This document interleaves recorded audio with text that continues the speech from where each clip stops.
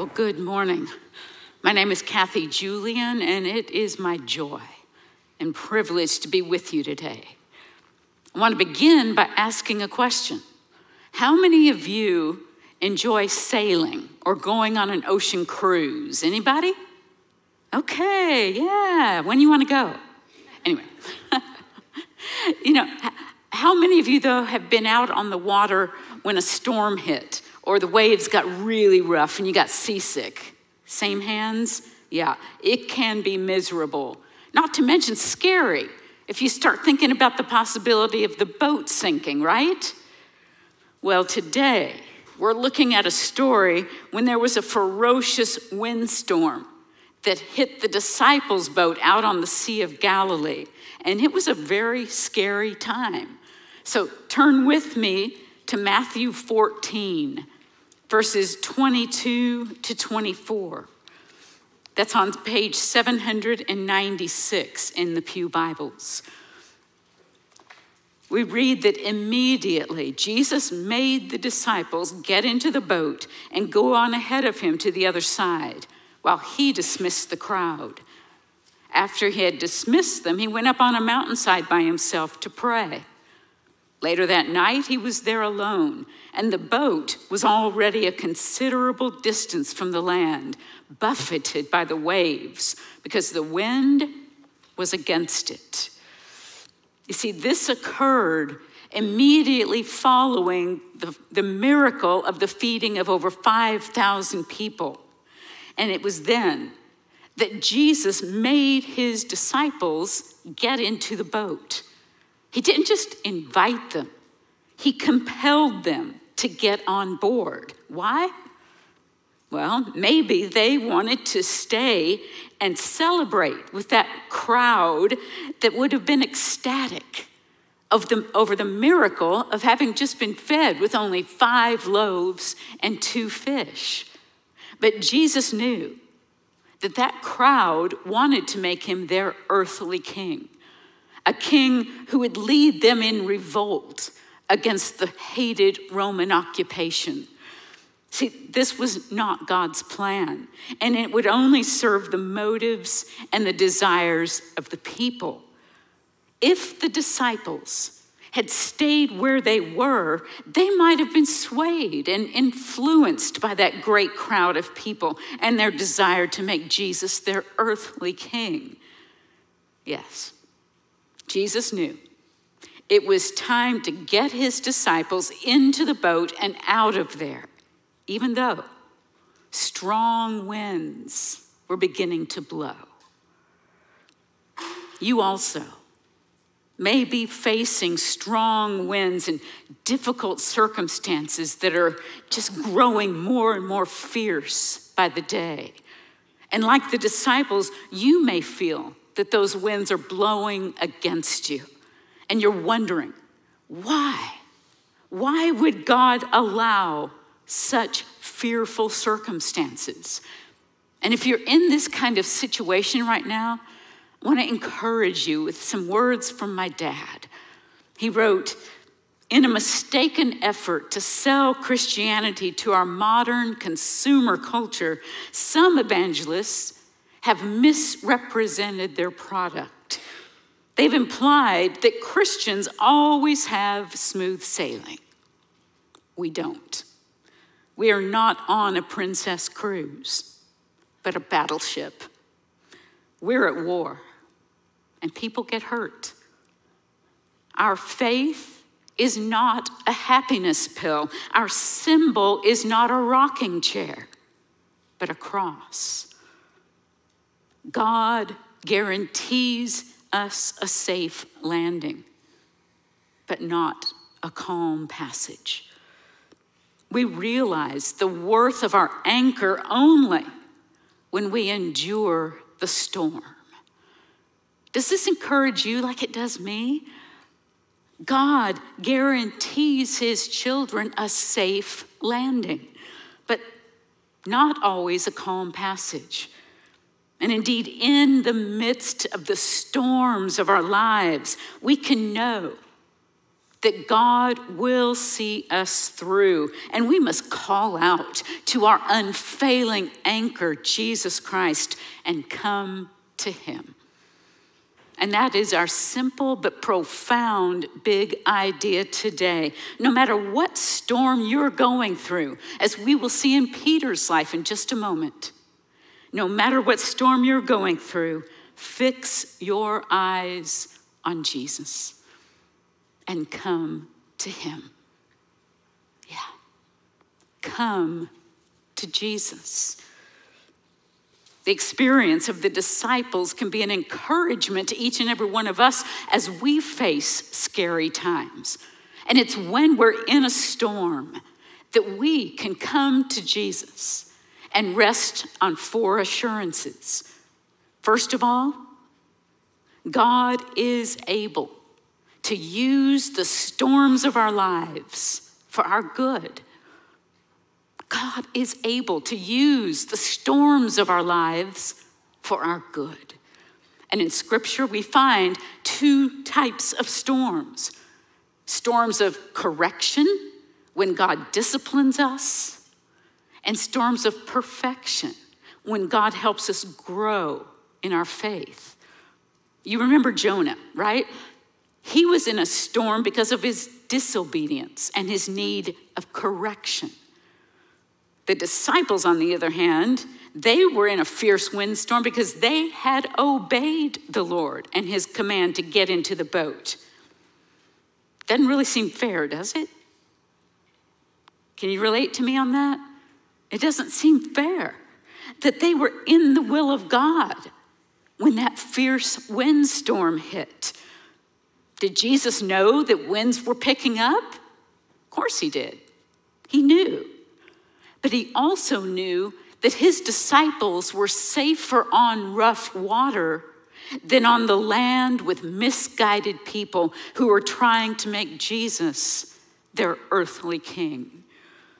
And as they were blown about by high winds and waves, they no doubt said to one another, If only Jesus were here. And that's because once before, he was with them on this same sea during a storm. And that time, simply with his voice, he had calmed the storm when he commanded, Quiet, be still. And nature obeyed its master. Yes. You see, Jesus was testing them this time by being out of the boat leaving them alone out there, tossed by the waves all through the night until shortly before dawn. Likely, one of the purposes in this scary situation was that the disciples' faith and their trust would grow and be perfected through this experience. Christ knew that the day would come after his crucifixion and resurrection that he would again not be physically with them. And they would need to learn to trust him in the face of many difficulties, even though he was not with them in person. And it would sometimes seem as though perhaps he just didn't even care. Have you ever felt that way? Have you ever felt that perhaps God really isn't there and just doesn't care about what you're going through? I mean, we would much rather grow without pain and without heartache, right? But the storms of life do come while we're here on this earth. Oh, that faith and our sovereign and loving God would increase as we realize he will never leave us nor forsake us, but will always see us through our storms as we trust in Him. He has purposes for our good that are far, far beyond what we, we could ever ask or even imagine. Do you ever wonder how long Jesus is going to leave you tossing and turning, and why in the world he has not come to your rescue? you're not alone. I'm sure that the disciples felt the same way. Because you see, as Christians, it is tempting to believe that obedience to God's commands will bring smooth sailing and a trouble free life. But again, this is not true. Jesus promised us in John 16 33, I have told you these things that in me you might have peace. In this world, you will have trouble. But take heart. I have overcome the world. Hallelujah. Amen. Amen. So, when we find ourselves in a storm, sometimes of our own making, and sometimes, even though we've tried to be obedient to God's commands, either way, take heart. Know that God often comes to us even when we're not looking for Him. We expect to meet with Jesus in worship, as we did this morning, right? But we don't always expect to meet with Jesus in a hospital room or at a funeral or in the midst of a big family blowup. But it's often in the crises of our lives that Jesus does his finest work because it's then that he has our keenest attention. Indeed, it's often in the crises of our lives that Jesus does his finest work because it's then that he has our keenest attention. Sometimes he takes us out of our storms but more often, He walks with us through them. How we must learn to face our fears with faith, to face our fears with faith.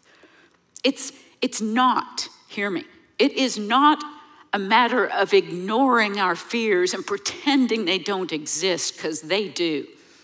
Would you agree with me? Absolutely, they do. But we must face them with the only one who is greater than our fears, our Savior, Jesus Christ. He alone can, let, can calm the storm. Sometimes he also lets the storm rage and calms the believer. It has been said that sometimes he calms the storm and sometimes he lets the storm rage and calms the believer with peace that passes all human understanding. And as we read in Philippians 4 6 and 7 of the Living Bible, don't worry about anything. Instead, pray about everything. Tell God your needs and don't forget to thank Him for His answers. If you do this, you will experience God's peace, which is far more wonderful than the human mind can understand. His peace will keep your thoughts and your hearts quiet and at rest as you trust in Christ Jesus. I can't begin to tell you what an impact these verses have had on my life, and I pray that they will impact your life as well. Philippians 4 6 and 7. Well, a second assurance in the storms of life is that God hears our prayers. God hears our prayers. How does it make you feel to know that God Almighty hears your prayers? It's amazing, isn't it? And in the same way that Jesus saw the scary situation his disciples were in, he sees ours. And he longs for us to come to him with our burdens and with our fears. I mean, think about it. If you knew without a doubt that God was listening to you and that He wanted the very best for you, wouldn't it give you renewed courage and hope? Absolutely, it would. He is going to see you through the storm that you're currently facing or will face. He prays, as we see in John 17. He prays because Jesus knows our needs and he cares deeply enough for us to pray. You see, Jesus prayed for all his disciples, and that includes you and it, includes me. Mm-hmm. In fact, uh, where was Jesus when that ferocious storm hit and his disciples were still out on the raging sea? Do you remember where Jesus was? He was alone, up on the mountainside, praying. And I'm confident that he was praying for his disciples who were out on that stormy sea. So when life when life gets really tough, may we join with Jesus. And may our first course of action be to come with him to the feet of our Father, our Father God, who knows us and who loves us and who calls us by name. And this brings us to our third assurance. Not only is God able to use the storms of our lives for good, and He hears our prayers, He is with us in the storms of our lives. Yeah, God is with us in the storms of our lives. God is with us and He is nearer than we think and just waiting for us to call out to Him. And we see this in Matthew 14, verses 25 to 33. We read, Shortly before dawn, Jesus went out to them, walking on the lake. And when the disciples saw him walking on the lake, they were terrified. It's a ghost, they said and cried out in fear. I have to just stop right here. How many of you is this a, a surprise that the word ghost is in the Bible?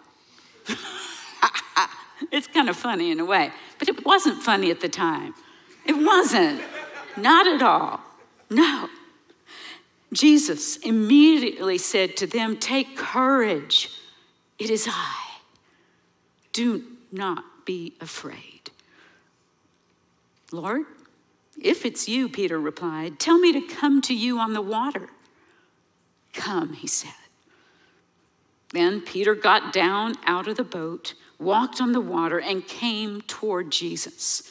But when he saw the wind, he was afraid and beginning to sink, cried out, Lord, save me.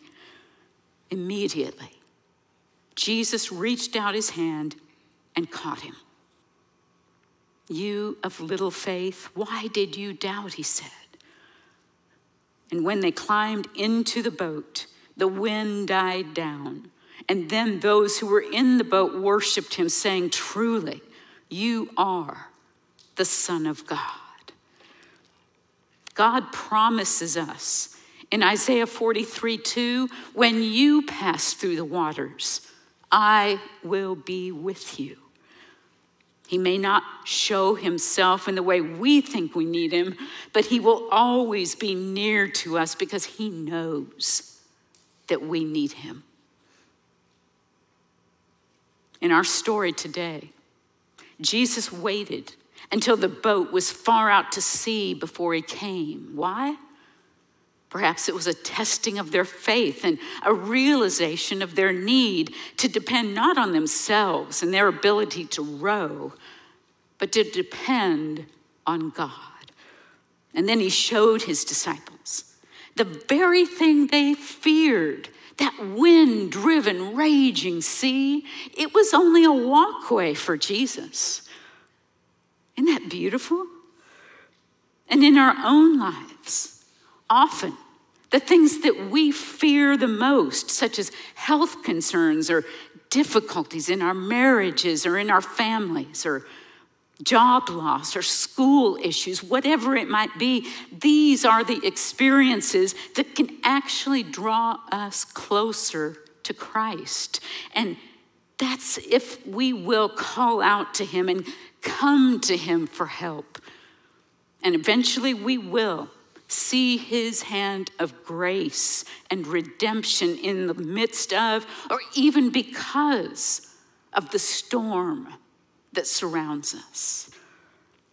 Indeed, God usually helps us in such quiet ways that we're not even aware of his presence. And that's because we are so totally focused on our circumstances, right? Is it possible that the reason we do not often see God's divine intervention is because we just don't expect to see it?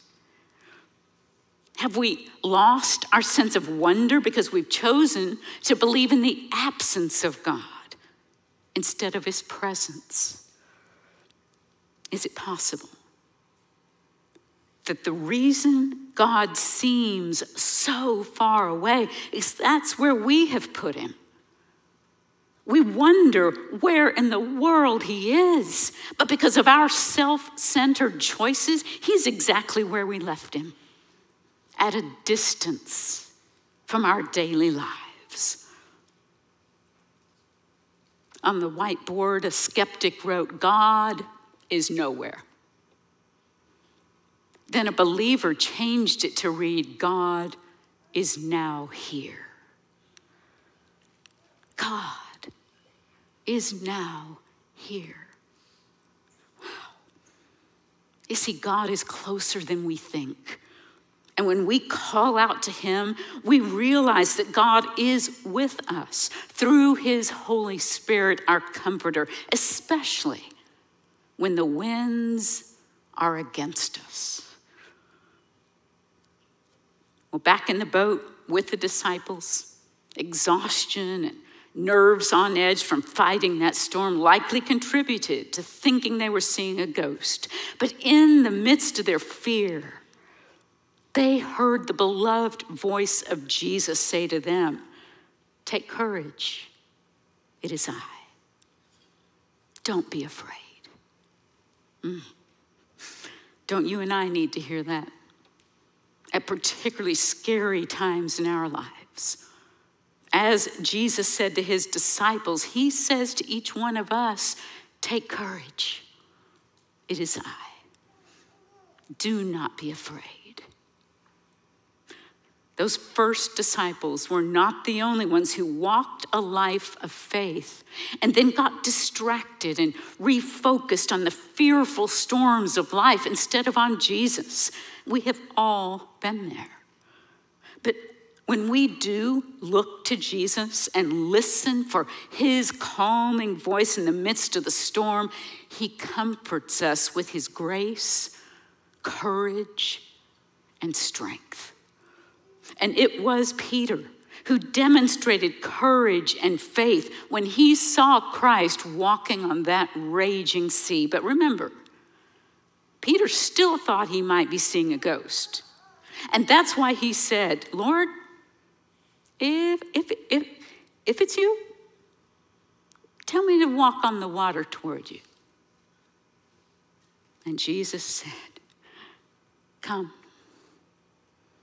come. I mean, you got to give Peter credit.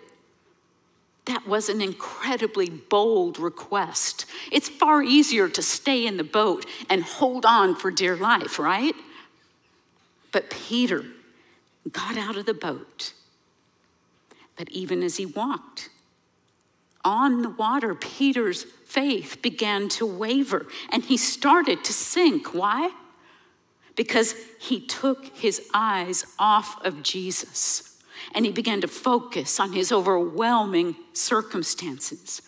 And we've got to, again, give Peter credit and learn a lesson from him because Peter recognized his need and the fact that he was sinking and he needed help.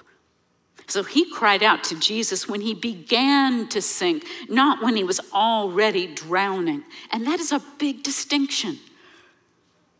Thankfully, Peter cried out to Jesus to save him from drowning in efforts instead of drowning in efforts to save himself. Let me say that again. Peter immediately cried out to Jesus to save him instead of drowning in efforts to save himself. Too often, that's what we do, isn't it? We try to drown in efforts to save ourselves instead of going to God first. And then when we get in over our head, that's when we cry out in desperation. The storms of this life are not easy, but they are necessary. They help us grow in our knowledge of Christ and the need to come to Him and to trust Him and to obey His word no matter how difficult the circumstances. So rest assured, when God hears our cries for help, He immediately reaches out to catch us and to carry us through whatever difficulty we're facing. And this brings us to our fourth assurance. God will see us through our storms to safety and peace on the other side. God will bring us through our storms to safety and peace on the other side. And since he is the author and finisher of our faith, according to Hebrews 2, 12 2, whatever he starts, he will finish. And even if we fail along the way, and we will, he will succeed in the end. Notice what, when those wild winds continued to blow, they blew even as Peter dared to walk on the water toward Jesus. Hard times continue in our lives too. Even when we determine to walk in obedient faith. Peter cried out to Jesus, who immediately grasped his hand. And then they walked on that water and climbed into the boat together. And it was then that the winds calmed down. Peter's experience turned out to be a blessing to the other disciples as well. They witnessed the power of Jesus Christ when he enabled Peter to walk on the water. And they also witnessed Jesus once again conquering and calming the fierce winds. And it was then the disciples worshiped him, saying, Truly, you are the Son of God. Do you suppose that the same is true in our lives? Is God indeed near to us? Just waiting for us to call his name and to come to him in trust and in worship.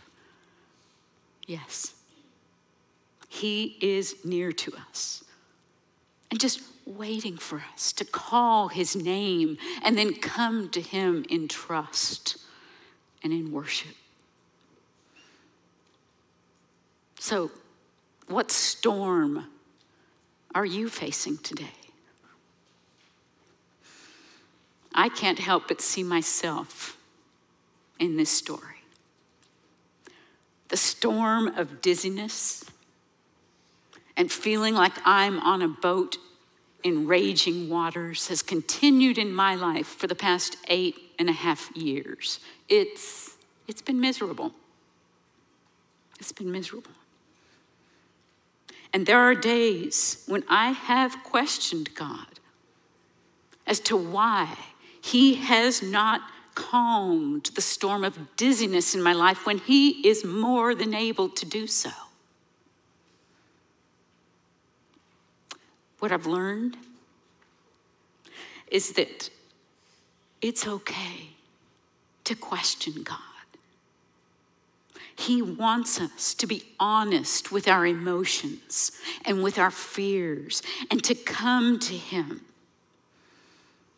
Now, we don't necessarily thank Him for our suffering, but we can and must thank God for seeing us through to the other side. He alone can use our suffering for purposes that we cannot even see.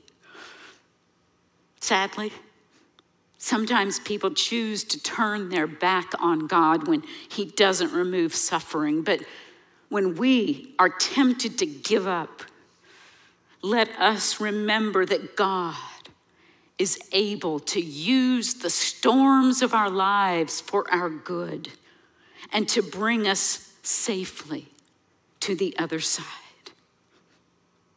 As my sister said to me on a particularly bad day, when I was angry with God for not removing my dizziness, she said to me, If you lack faith right now, borrow some of mine. Mm. That's a beautiful part of being a member of the family of God. We get to love and pray and support one another through these storms. So I will yet love and trust the God who has and who will see me through. And I want to invite all of you right now, out loud, to declare this statement of faith with me.